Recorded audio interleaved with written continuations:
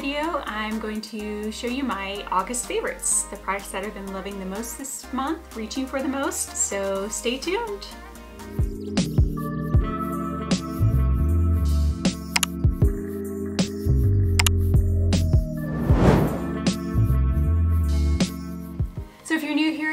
Stopping by. If you haven't already, please like this video, subscribe. Don't forget to hit the notification bell, turn on all notifications so that you're updated on my videos, which post on Wednesdays and Saturdays at 9 a.m. So we're gonna go ahead and get started and show you my August favorites.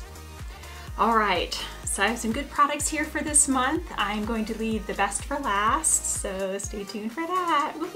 Now, I'm going to show you the products that I like but not necessarily love. Some of the products that I have been reaching for, trying, testing out, see how I feel. The first one I have here is the ColourPop Pretty Fresh Hyaluronic Hydrating Foundation. And so far, I'm still kind of teetering, not sure. Not the worst, not the best starting to get a little bit more acquainted with it, so liking it a little bit more as I go, but I feel like I need a little bit more time to tell you absolutely for sure. It's a great product. This is the swatch there, so I've been rubbing it in just so you can kind of see. I would say it has a medium, medium full coverage. Was able to cover up some, I mean, I have some acne scars, and then some hyperpigmentation that I have, you know, sun damage, but I do have the shade Light 50W. First time I wore this, I was just about to say, yep, never mind, no good. I mixed it with the Pretty Fresh primer that's also by ColourPop. Was not a good combination. I don't know if it was the type of foundation and primer combination. It just didn't work well. But I have more recently been wearing it with my favorite primer, which is the First Aid Beauty Coconut Smoothie Primer, which I'm always talking about. It has a beautiful radiance, so it keeps it glowy enough, but not overly glowy. This is definitely more of a radiant, a little bit dewy foundation, so you kind of have to watch. So far with that combination, I have been enjoying it. I will insert a couple photos. I wore it all day yesterday and then took a couple of photos at the end of the day, probably after like a good eight hours of wear. So I'll show you some of those pictures. Did of course start to break down a little bit as you can see on the face, around the chin and the nose. And then you can see some spots where they're just totally faded away or kind of collected around some like say scarred areas, that kind of thing. So some textured areas. But yeah, so I'm still trying it. We'll see. Not my best, but not the worst either. I'd say it's it's average right now, but I'll, I'll keep it posted after I use it a little bit more. But that's my first product.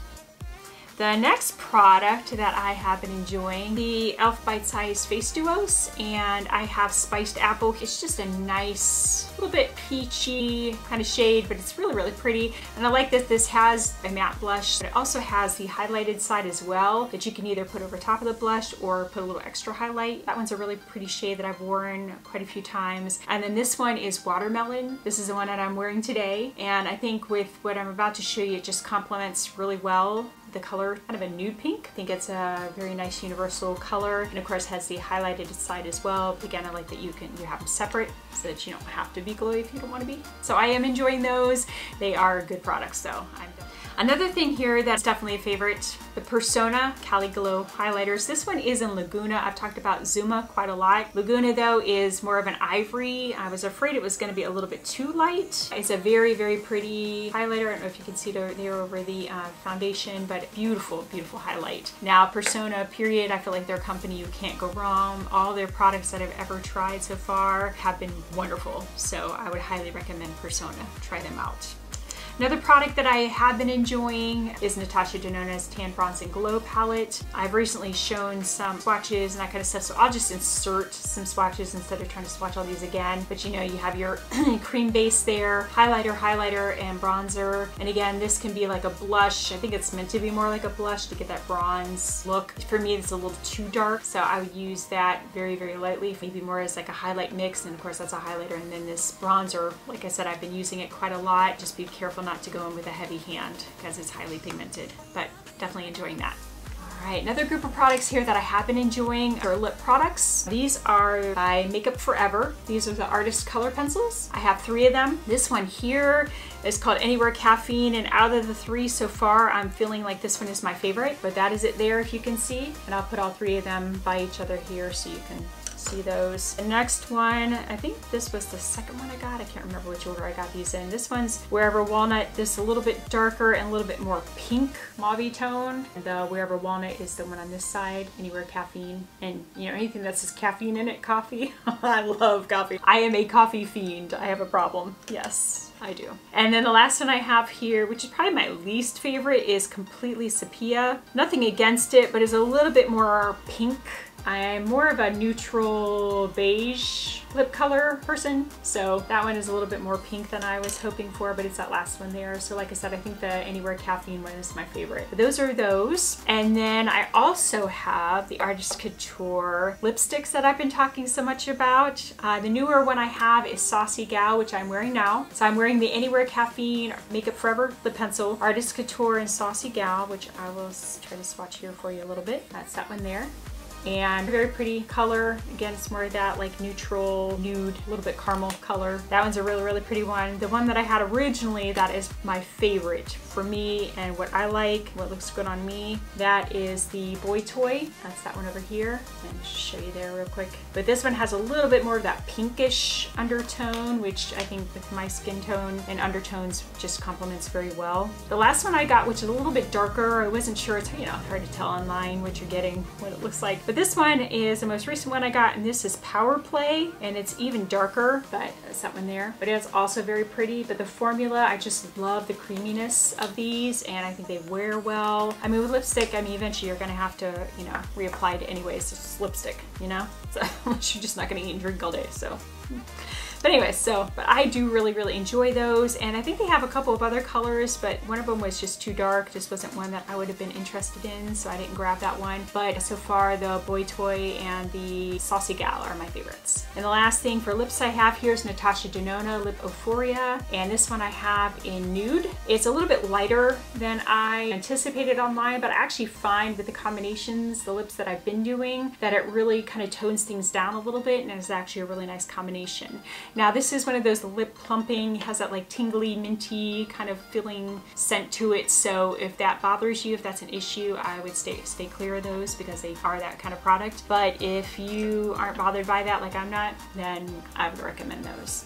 Now, one other product that I'm still, I, I think I'm liking it, but again, I don't feel like I've tried it with enough different products to be able to tell you for sure. The Nikia Joy Velvet Smooth Finishing Powder. Talked about this before, has that wonderful heavenly smell, at least I think so. So far, it is very smoothing. It is very velvety, I will give it that. Now, I definitely would watch what you're pairing it with. With the ColourPop, it works pretty well because again, that's more of a dewy foundation. So it kind of tones things down, makes it a little less dewy, which is good for me because I do tend to get oily, you know, T-zone by the end of the day. So it works very well for me, but I definitely obviously wouldn't pair it with a matte foundation, which I don't really think you need to set a matte foundation anyways. But um, again, I would just kind of watch what you pair it with. But overall, I do like that product. All right, so drum roll, my favorite product this month and I almost didn't purchase it and I would have been so bummed had I not. I've talked about it in several videos. It is fabulous. It is the Tiny Marvels palette, the collaboration Sydney Grace and Mel Thompson. I've shown you this before, show it again just because it's that pretty and that fabulous but I just love this. I love it. I love the color story. I wasn't sure how I was gonna feel about the green. Now, I don't know, I'm, I'm still working on that one. But these metallic shades, this duochrome, I didn't watch Mel Thompson's video because I didn't want to have any preconceived notions or know too much or have, you know what I mean, feel one way or another. I wanted my own honest opinion. So I had not watched her video, but I did watch it afterwards because I wanted to see what I thought versus what she said and, you know, how close I was and what, you know.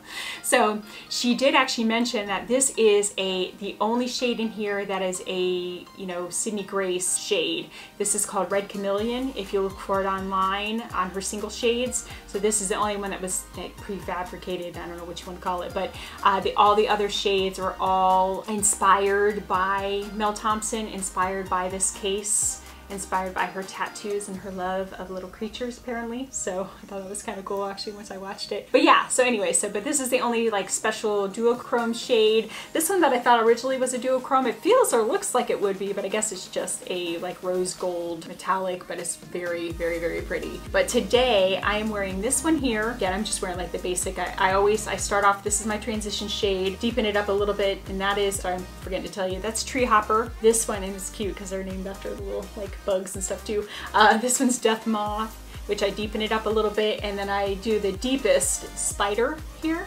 I do that in the outer corner to really deepen up the outer part of the eye. And then what I did is I put this one, which is called Fire Butts, oh, which is funny, it's cute. I put that all over the lid and then just on the inner, or like, I'm sorry, the middle part of the eye, I put Marvel, which is this pretty shade here. And then the inner corner and brow highlight, I put Web, which is this here. And this is more of your like shimmer, like an ivory shade. The other ones are metallics or are mattes. So it looks like you have one, two, three, four regular metallics. You have the one duochrome, pretty special shade there. And then the rest, uh, then like I said, the shimmer ivory color there. And then the rest are mattes. But oh my gosh, if I lost every other palette in my collection, and I'm telling you, when I tell you, I no joke have 200 plus palettes and I've lost count, so I probably even have more than that. I know. But if I lost every other palette was left with this one, I would be okay. And that says a lot for somebody that loves eyeshadow as much as I do. loves pretty shiny things.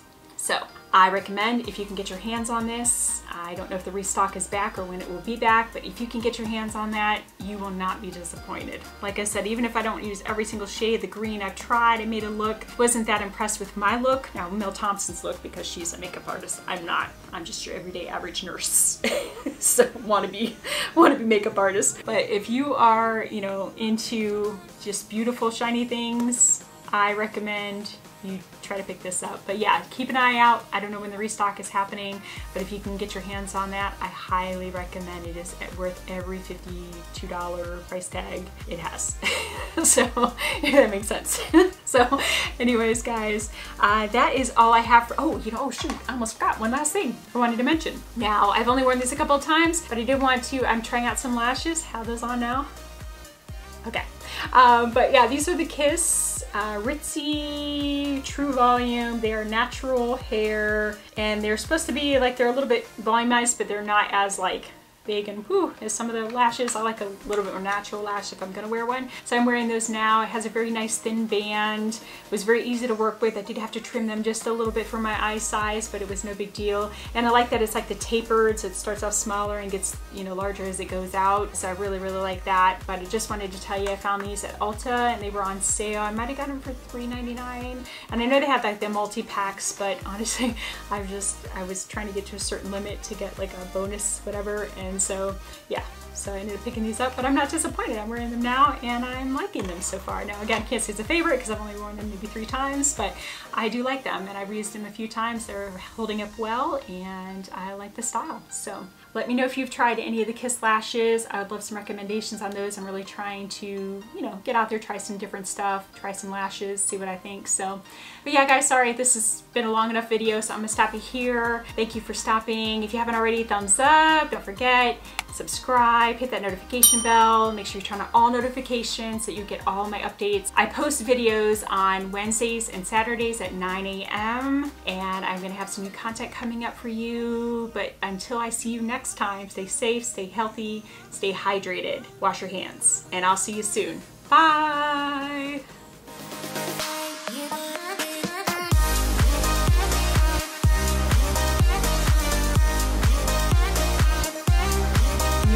Foundation. It's the Pretty Fresh Hyaluronic Hydrating Foundation.